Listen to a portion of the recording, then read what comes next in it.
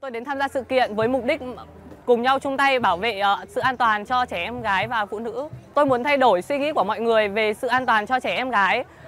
An toàn cho trẻ em gái chính là an toàn cho mọi người. Là nam giới, em muốn tiên phong trong việc thúc đẩy bình đẳng và an toàn cho trẻ em gái. Chỉ khi nào em gái bình đẳng thì mọi người mới bình đẳng.